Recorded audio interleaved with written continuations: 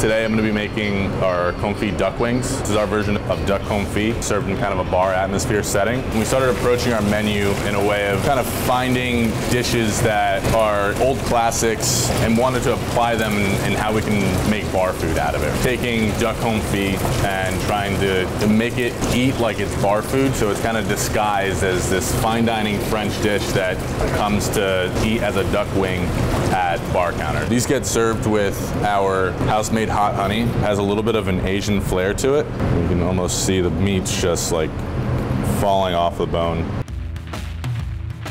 We traveled to see my daughter in Pittsburgh, and out there we saw a really cool tap wall. Took a picture of it, I sent it to Lewis. We got home from the trip, and next thing you know, we have a business plan. That was not part of my retirement. That was not. This is our self-pour tap wall. Self-pour tap wall is a fun concept because you can pour as much or as little as you like. You can sample 36 different things and really get a, a grasp of a ton of different variety. You only pay for what you pour. It is beer, but we want to feature ciders and meads and wines and, and really hopefully appeal to, to many different folks. You don't have to pour a full beer or a full cider or a full beverage.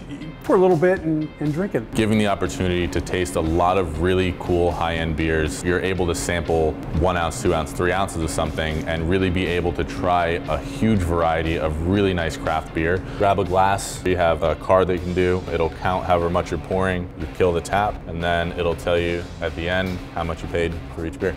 So we opened in November 2022. We've evolved our menu every day. We're always trying to find the next best thing. We still wanted to tie in food that that we love, that we're excited to make, and stuff that we like to eat. So we've got a chef's counter, so you know you can be right in all the action. You can see right in front of you that everything's being made from scratch to order. We have no secrets.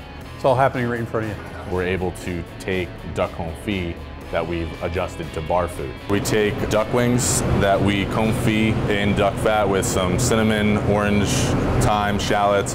Do that for about three, four hours, low temperature. Uh, we chill them down, pull them out of the duck fat, and then we fry them in a really hot temperature. It gets nice and crispy on the outside, and the meat kind of just almost falls off the bone as you pick it up. Topped with our kimchi aioli and that just gets topped with uh, a little bit of chive at the end. We pride ourselves on converting people to duck with these things. When thinking of this dish, this is a, a very collaborative dish with our team, and we love duck confit, but we wanted to see like how, how do we create duck confit in, in a bar setting. Exciting to try new things and take that aha bite um, that we get with when people try the duck wings. It, we like to keep the atmosphere vibrant, fun, energetic. It's been, it's been a lot of fun. And looking forward to seeing more and more.